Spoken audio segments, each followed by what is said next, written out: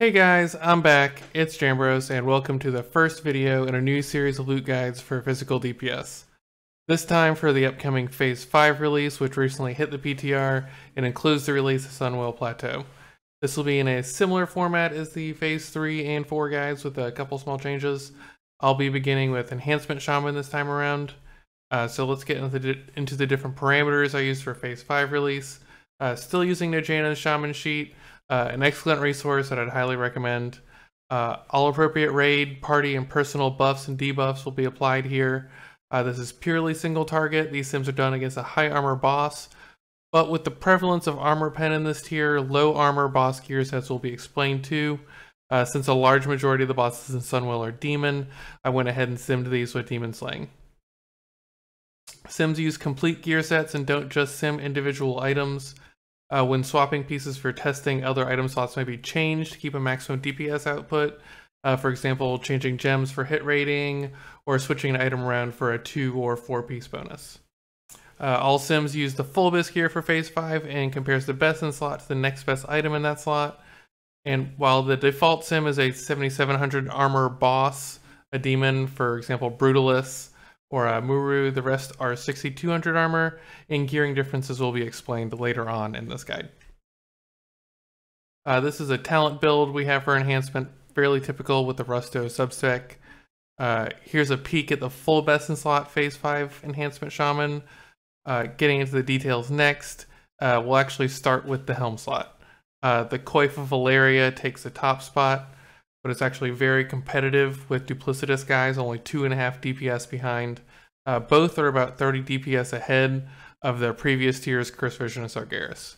Uh, the tier 6 helm is not particularly good, but comes in as an okay option if used as the fourth tier piece for the four piece bonus uh, with the new set items that come in Sunwell. There are a couple options here for the neck piece, and the best one to take is only if you're a jewel crafter. Uh, the pattern drops off Sunwell Trash and is bound to you once crafted. Uh, very strong with all the armor pen and even a gem slot on a neck piece. Uh, surprisingly, if you're not a jewel crafter, the next best option is the Shattered Sun Offensive Exalted neck piece, but only if you're an Aldor. The Scryer proc is significantly worse. Uh, Clutch of Demise is the only actual drop from a boss in Sunwell. Uh, comes off Brutallus and is kind of a last resort if you're neither a jewel crafter or Aldor. The shoulder slot features some really competitive pieces. Uh, the top two are the mail Mantle of the Golden Forest and the leather Demon Tooth shoulder pads. These are basically interchangeable. Uh, Golden Forest is technically best by less than 1 DPS, but the blue slot and the Demon Tooth shoulder pads proved useful in a lot of sets to activate your meta gem. Uh, the tier 6 shoulders combined with the three new tier pieces seem to almost equal the shoulder pads of Behemoths.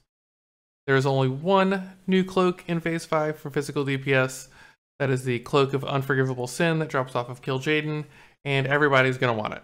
Uh, and for a good reason, even with the low stat budget of a cloak, it's a full 30 DPS upgrade over your previously bis uh, Shadowmoon Destroyer's Drape. Unlike cloaks, there are actually a lot of chest piece options in Phase 5. Uh, Bladed Chaos Tunic comes out on top, but your next best options are the much easier to obtain crafted options. I'd wager to say that most rating enhancement shaman were leather workers, and the Carapace of Sun and Shadow is very close to Bladed Chaos, only about 5 DPS behind. Uh, Embrace of the Phoenix, also leatherworking bind on pickup craft, but is significantly worse. Uh, the tier 6 chest for the 4 pieces way, way behind, and just not recommended at all. This brings us to the first of the three new tier pieces in Phase 5, uh, the Bracers. There's no real competition here for best in slot, and everybody's going to want these tokens. Uh, the Sky Shatter wrist guards are 21 DPS ahead of the Black Temple and Mount Hyjal bracers.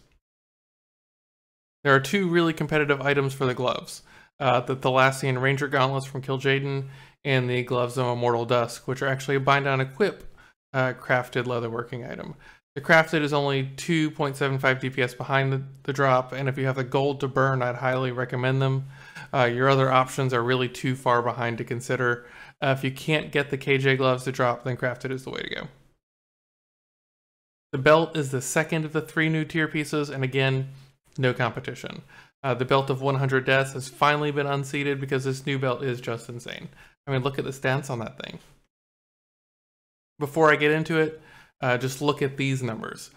these are your top four options, and none of them are even remotely close to your best.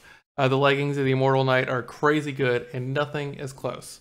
Uh, everything else is a 50 to 60 DPS loss comparatively. The feet are the last of the three new set pieces, and just like the previous two, they are on a token and have no other new items that slot coming with it in Phase 5. Meaning this one and all the other ones far outclass all the other options that come in Phase 3 and Phase 4. Uh, here you can see that the soft set boots and the Shadow Master's boots come up more than 40 DPS behind it. There are a few good options for rings in Phase 5, and on top is a new Band of Ruinous Delight. Uh, that drops off the Eredar Twins in Sunwell. Uh, Stormrage Signet Ring still holds up from Illidan uh, in Phase 4 to pair with it. The two other new rings are pretty intriguing options because although they're not better than the other two, they're comparatively very easy to acquire. Uh, the Hard Khorium Band is a bind on equip ring that is jewel crafted, and Angelisa's Revenge is a new Phase 5 badge item that only costs 60 badges. Uh, those two are your ring minimums if you didn't get the Signet Ring Phase 4, and the Band of Ruinous Delight hasn't dropped yet. The new Absolute Best trinket from sure all physical DPS shows up in the Blackened Naaru Sliver off M'uru. Uh, what's really of note here that another new trinket, uh, the Shard of Contempt, actually drops from the new 5-man dungeon, uh, Magister's Terrace. This trinket is technically best if you can make use of nearly all of its passive expertise, and there's a lot of it here. Uh, 44 expertise with an attack power proc. Uh, DST is still a really good option here, being not too far behind. Uh, Berserker's Call is a good trinket, but it start, really starts to lose a lot of value uh, in these longer fights that we're seeing here in Sunwell.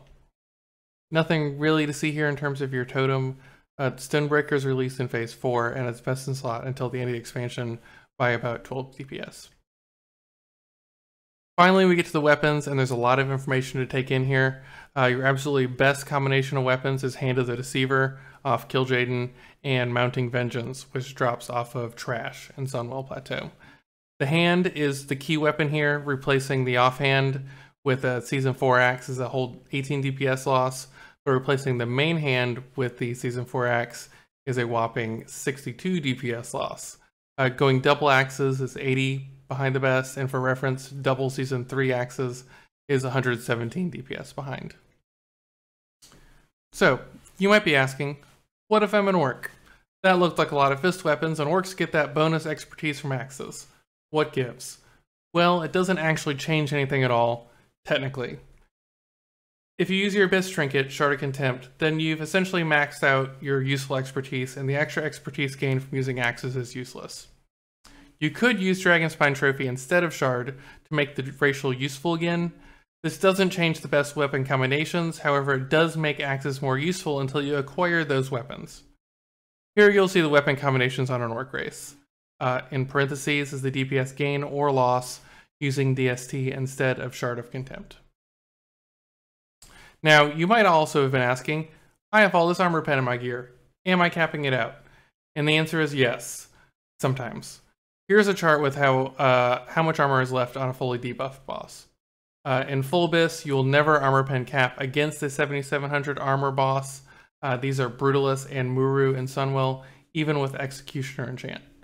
With a fully debuffed boss, you can safely use all armor pen items and Executioner until you have 868 armor pen on gear. Once you exceed that amount of armor pen, Executioner starts to lose value compared to Mongoose. Uh, a full best in slot enhanced shaman has 1725 armor pen. That's almost the exact same amount needed to cap against a low armor boss without executioner, so a clean swap to Mongoose on your main hand is a large DPS increase. The break-even point for Executioner and Mongoose is right around 1120 armor pen on low armor targets. And that's it. I really hope you guys enjoyed watching. Uh, if you have any questions for me, feel free to drop them in the comments below or come watch me on my Twitch channel and ask me there. Uh, I'd really appreciate it if you guys liked or subscribed if you enjoyed this content. I've got a lot more coming up for you. Thanks, guys.